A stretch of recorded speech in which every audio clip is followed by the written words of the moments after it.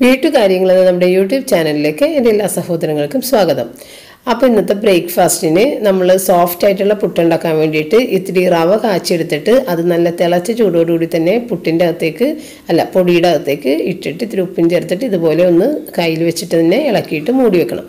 ആ മൂടി വെച്ച് കഴിയുമ്പോഴേക്കും അതിരുന്നിട്ട് ഒന്നും കൂടി വെന്തിട്ട് ആ നല്ല സോഫ്റ്റ് ആയിട്ടുള്ള പുട്ട് നമുക്ക് ഉണ്ടാക്കിയെടുക്കാം. പിന്നെ സാധാരണ പുട്ട് ഉണ്ടാക്കുന്ന പോലെ തേങ്ങ ഇട്ടിട്ട് റെഡിയാക്കി എടുക്കുക.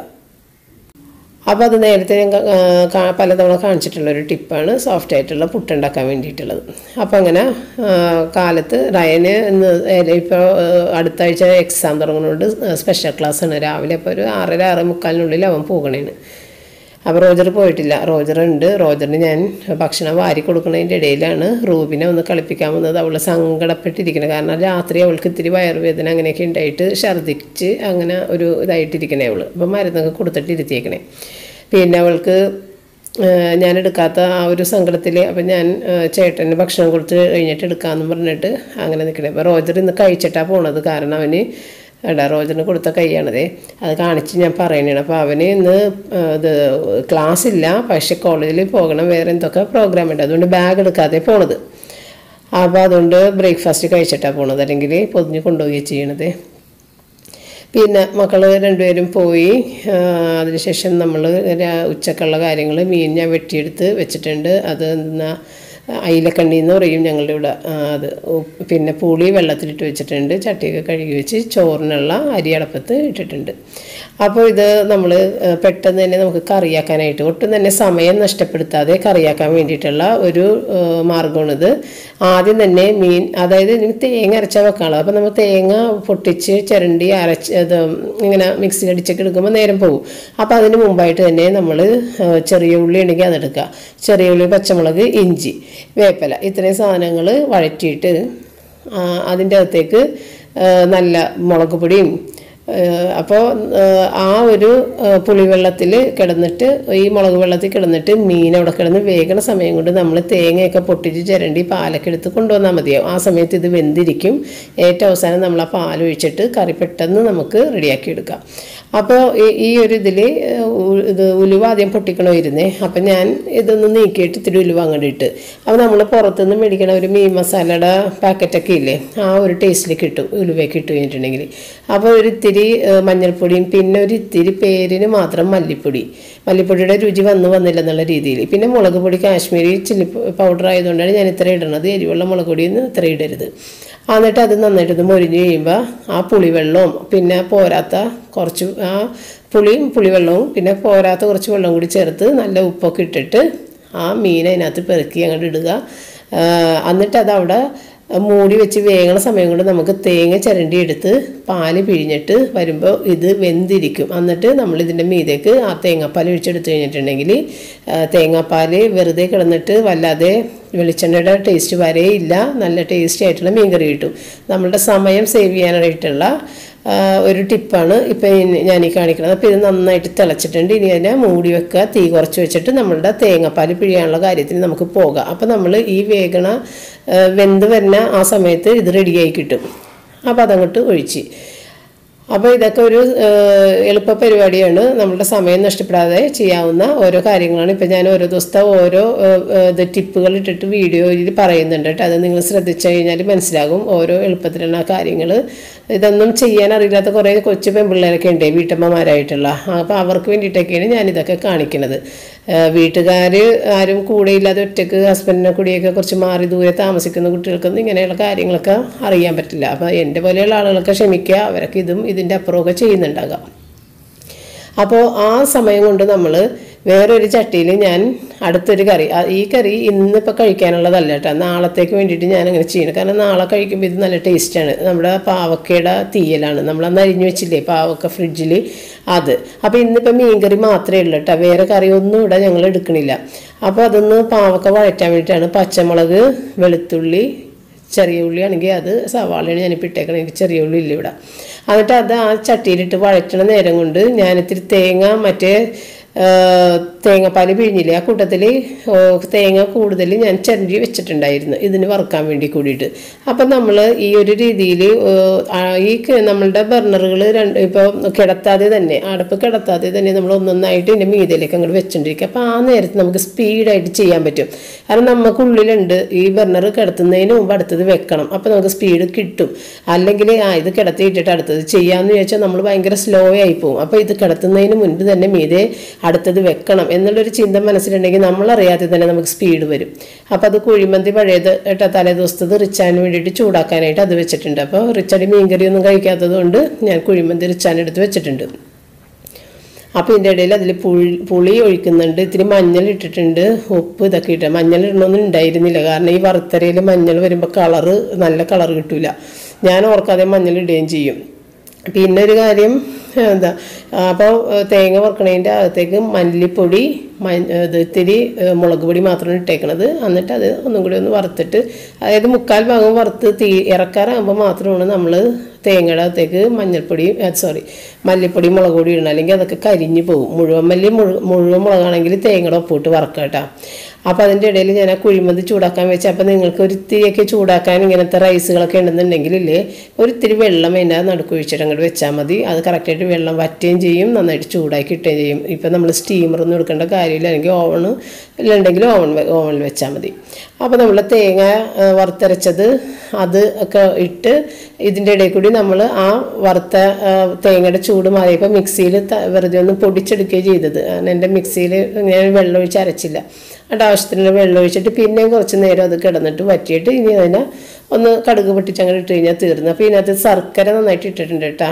ശർക്കര ഇട്ടില്ലെങ്കിൽ ഭയങ്കര കയ്പായിരുന്നു. ശർക്കര ഇട്ടത് ഞാൻ എഡിറ്റ് ചെയ്തപ്പോഴത്തേക്കും അതിനകത്ത് നിന്ന് പോയിട്ടുണ്ടെന്ന് തോന്നുന്നു അപ്പോൾ ശർക്കര നന്നായിട്ട് ഇട്ടിട്ടുണ്ട്. എന്നിട്ടും ഭയങ്കര കയ്പ്പ്. ആ, അങ്ങനെ. അപ്പോൾ അതെടുത്ത് മാറ്റിയിട്ട് ഇനി നമ്മൾ വറുക്കാൻ വേണ്ടിയിട്ട് ആ തേങ്ങ വറുത്ത ചട്ടീന്റെ എടുത്ത് വെച്ചിട്ടുണ്ട്. അതിനകത്ത് ഇത്തിരി വെളിച്ചെണ്ണ ഒഴിച്ചിട്ട് കടുകും ഇത് ചെറിയ ഉള്ളിയും വറ്റൻമുളക് ഉണ്ടെങ്കിൽ അത് ഒക്കെ ഇട്ട് പൊട്ടിച്ചിട്ട്. അപ്പോൾ തീയിലൊക്കെ ഉണ്ടാക്കണം എങ്ങനെയാണെന്നുള്ളതെന്ന് എനിക്ക് വലിയ പിടുത്തമൊന്നുമില്ല. അതൊക്കെ നമ്മളുടെ ഇഷ്ടത്തിനനുസരിച്ച് നമ്മൾ ഉണ്ടാക്കുന്നത് അത് അത്രയേ ഉള്ളൂ. അപ്പോൾ ഇതൊക്കെ ഇത്തിരി ചേഞ്ചസ് ഒക്കെ വന്നു കഴിഞ്ഞാലൊന്നും കുഴപ്പമില്ല. ഇത്തിരി അങ്ങനെ ഇന്നത് ഇടുക ഇന്നത് ഇടരുത് അങ്ങനെ നിബന്ധനകളൊന്നുമില്ല. നമ്മൾക്ക് ചേഞ്ചസ് ഒക്കെ വരുത്തിയിട്ടൊക്കെ ചെയ്യുക അതൊക്കെ ഓരോരുത്തരുടെ ഇഷ്ടങ്ങളാണ്. പിന്നെ എനിക്ക് ഈ വേണ്ട റയൻ വന്നിട്ടുണ്ട്. റയൻ വന്നു കഴിഞ്ഞപ്പോൾ ഞങ്ങൾ മീൻകറിയുള്ള കൂട്ടാണ്. അപ്പോൾ മീൻകറി ഏതായാലും റെഡിയാണ് ഇത് നാളത്തേക്ക് ആയതുകൊണ്ട് അങ്ങനെ താമസിച്ചു വെച്ചത്. അപ്പോൾ ഞങ്ങൾ ഭക്ഷണമൊക്കെ കഴിച്ചു കഴിഞ്ഞ്. അടുത്തത് നമ്മൾ വൈകുന്നേരത്തെ ആ ഒരു കാര്യം ചെയ്യാൻ പോണേണ്. അപ്പോൾ ഇത്തിരി കപ്പ് കേക്ക് കപ്പിൽ കപ്പുകൾ പ്ലാ ഇത് മറ്റേ ഡിസ്പോസിബിൾ കപ്പുകൾ ഞാൻ എടുത്ത് വെച്ചിട്ടുണ്ട്. കുറച്ച്. അതിൽ ചെയ്യാൻ ചെയ്താൽ നല്ലതാണെന്ന് ഒരാൾ പറഞ്ഞു കഴിഞ്ഞു. പക്ഷേ അതിനകത്തേക്ക് നമ്മളുടെ കപ്പിന്റെ കപ്പ് കേക്കിന്റെ ആ ഒരു ലൈനർ ഇട്ടിട്ട് അത് ഒരു സുഖമില്ല. അത് ചുമ്മാ ഞാൻ പിന്നെ കപ്പിൽ ഒഴിച്ചിട്ട് ചെയ്യുകയാണ് ചെയ്തത്. അപ്പോൾ റൂബി ഒന്ന് ചെക്ക് ചെയ്യണേണ്. അവൾ ഇങ്ങനെ തുറക്കുമ്പോൾ അവൾക്ക് എന്താണ് അതിനകത്തുള്ളതെന്നൊക്കെ ഒന്ന് നോക്കണം. അത് എത്തിയൊക്കെ നോക്കണേ.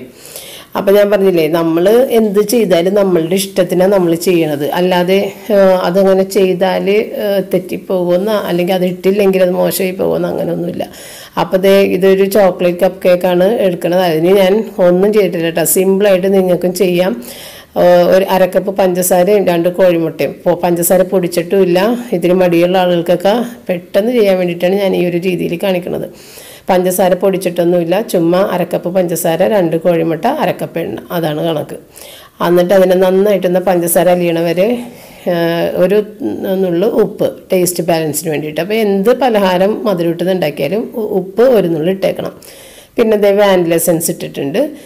എന്നിട്ട് അതിനകത്തേക്ക് നമ്മൾ ഒന്നും അരിക്കല ഒന്നുമില്ല.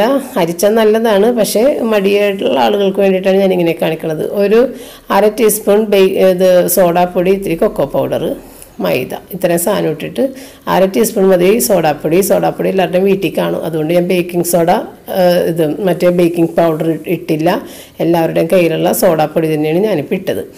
അര ടീസ്പൂൺ ഇട്ട് കഴിഞ്ഞാൽ തീർന്ന് ഇതൊരു ഒരു എട്ട് ഒരു പത്ത് കേക്കിനുണ്ടാവും ഈ ഒരു ഈ ഒരു അളവിൽ അതായത് ഒരു കപ്പ് മൈദ അരക്കപ്പ് എണ്ണ അരക്കപ്പ് പഞ്ചസാര രണ്ട് കോഴിമുട്ട. പിന്നെ അതിന്റെ എസൻസുകൾ നിങ്ങളുടെ ഇഷ്ടത്തിന്. അതുപോലെ കൊക്കോ പൗഡർ ഉണ്ടെങ്കിൽ ഇടുക അല്ലെങ്കിൽ വാനില കേക്ക് ഉണ്ടാക്കുക. അപ്പോൾ ഞാനിന്ന് വാനില കേക്ക് ഉണ്ടാക്കുന്നുണ്ട് ഇത് ഉണ്ടാക്കുന്നുണ്ട്. അപ്പോൾ ഇത് ഈ രീതിയിൽ നമ്മൾ കുക്കറിന്റെ അകത്തൊരു തട്ട് മാത്രം ഇട്ടേക്കണത് വെള്ളം ഒഴിച്ചിട്ടില്ല ഉപ്പ് ഇട്ടിട്ടില്ല. എന്നിട്ട് അതിനെ മൂടി വെച്ചിട്ട് ഒരു പത്ത് മിനിറ്റ് ആകുമ്പോൾ തന്നെ കേക്ക് റെഡി ആയിട്ട് വരും. അപ്പോൾ അത് റെഡിയായി വരണ നേരത്തിന് ഞാൻ വീണ്ടും ഒരു അരക്കപ്പ് പഞ്ചസാര രണ്ട് കോഴിമുട്ട അരക്കപ്പ് എണ്ണ ഒരു കപ്പ് മൈദ ഒരു ടീസ്പൂൺ അര ടീസ്പൂൺ ബേക്കിംഗ് സോഡ. അതായത് സോഡാപ്പൊടി. ഇത്രയും സാധനങ്ങൾ ചേർത്തിട്ട് ഇത്തിരി ബദാം എസെൻസും കൂടി ചേർത്ത്. അപ്പോൾ നിങ്ങൾക്ക് വാനില എസെൻസ് ആണെങ്കിൽ അതിടാം അപ്പോൾ ബദാം എസെൻസ് ഇടുമ്പോഴത്തേക്ക് ഒരു ഇത്തിരി കളറും കിട്ടും. വേറൊരു ടേസ്റ്റും കിട്ടും.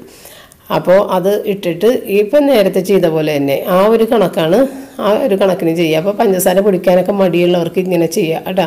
കുട്ടികൾക്ക് പെട്ടെന്ന് രണ്ട് മൂന്ന് കേക്കൊക്കെ ഇത് മഗ്ഗിൽ ആണെന്നുണ്ടെങ്കിൽ ഉണ്ടാക്കാം അപ്പോൾ നിങ്ങൾ ഓവനിൽ വെക്കാൻ പറ്റിയ പാത്രങ്ങൾ മാത്രമേ നമ്മൾ ഈ ഗ്യാസ് സ്റ്റോപ്പിൽ വെച്ചും ചെയ്യാൻ പാടുള്ളൂ. ഇപ്പം എന്റെ ഓവനിൽ വെക്കണ പാത്രം ചെയ്യുന്നില്ല. ആ ഗ്ലാസിന്റെ ബൗളില്ലേ അത് പൊട്ടൽ വീണിട്ടുണ്ട്. നേരത്തെയും ഞാൻ ഒരു ദിവസം ചെയ്തപ്പോൾ പറഞ്ഞില്ല പൊട്ടൽ വീണ്. അപ്പോൾ അത് നോക്കിയിട്ട് വേണം ചെയ്യാൻ വേണ്ടിയിട്ട്. സ്റ്റീൽ പാത്രങ്ങളുണ്ടെങ്കിൽ അത് വെക്കുക. പിന്നെ കളർ ഇത്തിരി ചേഞ്ച് വരും കേട്ടോ. തേച്ച് കഴുകി എടുക്കണമെന്നേ ഉള്ളൂ. കണ്ട? അപ്പം നമ്മൾ മൈദ ഇട്ട് ബേക്കിംഗ് സോഡ അതായത് സോഡാപ്പൊടി അര ടീസ്പൂൺ ഇട്ട് ആ സെയിം ഇത് തന്നെ കൊക്കോ പൗഡർ ഇതിനകത്ത് ചേർത്തിട്ടില്ലെന്ന് മാത്രം. അപ്പോൾ ഇത് ഇത്തിരി ഒന്ന് ടൈറ്റായി പോയിട്ടുണ്ട്. ഇത്തിരി കൂടി ലൂസാക്കിയാൽ നല്ലതായിരുന്നു. ഞാൻ ഇത്തിരി അതുപോലെ തന്നെ അങ്ങോട്ട് ഇട്ട്. എങ്കിലും കുഴപ്പമില്ല. എങ്കിലും ഒരു തരിയും കൂടി ലൂസായാൽ നല്ലതായിരിക്കുള്ളൂ അധികമല്ല അധികം ലൂസാകരുത് കപ്പ് കേക്കൊക്കെ ഇത്തിരി ടൈറ്റ് തന്നെ വേണം. പക്ഷേ ഇത് ഇത്തിരി ഓവറായിപ്പോയി അപ്പോൾ നമ്മളുടെ ഇത് ആ രണ്ട് ഇത് കുക്കറിലും ഇരുന്നിട്ട് വേകുന്നുണ്ട്. അപ്പോൾ ഇതും നമ്മൾ റെഡിയാക്കി വെച്ച് കഴിഞ്ഞാൽ ഓരോന്ന് വെന്തിറങ്ങുന്ന സമയത്ത് അത് മാറ്റിയിട്ട് അതിനകത്തേക്ക് അടുത്തത് വെക്കാം പെട്ടെന്ന് തന്നെ. അപ്പം അങ്ങനെ ഞാൻ പേപ്പർ കപ്പുകളിൽ എല്ലാം എല്ലാം നിറച്ച് നിറച്ച് വെക്കണേണ്. ഇപ്പോൾ ഹാഫ് ആയിട്ട് എടുക്കാൻ പാടുള്ളൂ. ഹാഫ് നമുക്ക് പൊങ്ങി വരാനുള്ള സ്പേസ്. അപ്പോൾ അതിനകത്ത് നിന്ന് ഞാൻ ആ കപ്പൊക്കെ മാറ്റി എടുത്തിട്ട് അടുത്ത കപ്പ് അതിനകത്തേക്ക് കൊണ്ടുവന്ന് വെച്ച് അതും വെച്ച്. അപ്പോൾ ഈ ഗ്ലാസ്സിൽ വെക്ക വെച്ചേക്കുന്നത് കുറച്ച് കൂടി ടൈം എടുക്കുന്നുണ്ട്. ഗ്ലാസ് ചൂടായി വരാനായിട്ട് ഈ ഗ്ലാസ് പൗളിൽ ഈ പേപ്പറിന്റെ ഇതിൽ മാത്രം വെക്കണമെങ്കിൽ പെട്ടെന്ന് തന്നെ ആയി കിട്ടും കേട്ടോ. പേപ്പർ കപ്പിൽ മാത്രം വെക്കണമെന്നുണ്ടെങ്കിൽ അപ്പോൾ ഇത് വേണ്ട പേപ്പർ കപ്പ് നമുക്ക് പൊളിച്ചങ്ങോട്ട് കളഞ്ഞിട്ട് എടുക്കാം. ഈസിയാണ് അപ്പോൾ അതിന്റെ കളറൊക്കെ മാറിയിട്ടുണ്ട്. ആ കുത്തി നോക്കണുണ്ടോ? ഞാൻ കുത്തി നോക്കാതെ രണ്ട് മൂന്നെണ്ണം എടുത്തിട്ട് ഉള്ളു വെന്തിട്ടുണ്ടായിരുന്നില്ല. തിരക്കിന്റെ ഇടയിൽ കുത്തി നോക്കാൻ വിട്ടുപോയി പെട്ടെന്ന് എടുത്തിട്ടത് വേഗാതൊക്കെ ആയിപ്പോയി പിള്ളേർ കഴിച്ചപ്പോഴാണ് പറഞ്ഞത് ഉള്ളു വെന്തിട്ടില്ല എന്ന് അപ്പോൾ എപ്പോഴും കുത്തി നോക്കുക. കത്തി ക്ലീൻ ആയിട്ട് തന്നെയാണെന്നെങ്കിൽ അല്ലെങ്കിൽ നമ്മൾ എന്താ ഈർക്കില്ല എന്തെങ്കിലും ഇട്ട് കുത്തി നോക്കുക. അത് ക്ലിയർ ആയിട്ട് വന്നാൽ മാത്രം. അപ്പോൾ നിങ്ങൾക്ക് ഈസി ആയിട്ട് ഉണ്ടാക്കാം ഇത് മിക്സിയും വേണ്ട ഒന്നും വേണ്ട പൊടിക്കുകയും വേണ്ട പഞ്ചസാര എല്ലാം ക്ലീൻ ആയിട്ട് കിട്ടും. അരിപ്പൊടി സോറി മൈദപ്പൊടിയിൽ ഉപ്പും ബേക്കിംഗ് പൗഡർ ബേക്കിംഗ് സോഡ ഇട്ടിട്ട് ഒന്ന് മിക്സ് ചെയ്തിട്ട് ഇടണമെങ്കിൽ കുറച്ചും കൂടി നല്ലതായിരിക്കും. അല്ലെങ്കിൽ ഉപ്പും ബേക്കിംഗ് സോഡയൊക്കെ അവിടെ ഇവിടെയൊക്കെ പിടിച്ചിരിക്കും. അപ്പോൾ അതൊന്ന് ശ്രദ്ധിച്ചാൽ മാത്രം മതി. അപ്പോൾ നമ്മൾ എല്ലാം എടുത്തൊക്കെ വെച്ച് നല്ല അടിപൊളിയായിട്ട് കേക്കൊക്കെ കിട്ടിയിട്ടുണ്ട്. അപ്പോൾ ഈ മഞ്ഞ കളറിലെ കേക്ക് കുറച്ച് ഇത് ഇരുന്ന് ഇത് ഹാർഡായി ഇരുന്ന് കഴിഞ്ഞപ്പോൾ കാരണം അത് കുറേ ടൈറ്റ് ആയിരുന്നല്ലോ. എങ്കിലും കുഴപ്പമൊന്നുമില്ല ടേസ്റ്റൊക്കെ കുഴപ്പമില്ലായിരുന്നു. പിന്നെ നമ്മൾ ആ ഗ്ലാസ്സിനകത്ത് വെച്ചില്ല ആ ഗ്ലാസ്സിൽ വെച്ചുണ്ടാക്കിയ കേക്കിന് ഒരു പ്ലാസ്റ്റിക്കിന്റെ ടേസ്റ്റ് വന്നിട്ട്. അപ്പോൾ അത് ഒരു പ്ലാസ്റ്റിക് കോട്ടിംഗ് ഉണ്ടല്ലോ ആ ഗ്ലാസ്സിന് എനിക്കൊന്നും അത് ഉരുകിയിട്ടായിരിക്കുള്ളൂ. അപ്പോൾ നിങ്ങൾ പ്ലാസ്റ്റിക്കിന്റെ ഗ്ലാസ്സിൽ വെച്ച് ഉണ്ടാക്കണ്ട കേട്ടോ. ഒന്നില്ലെങ്കിൽ സ്റ്റീൽ ഗ്ലാസ്സിൽ വെച്ച് ഉണ്ടാക്കിയാൽ മതി.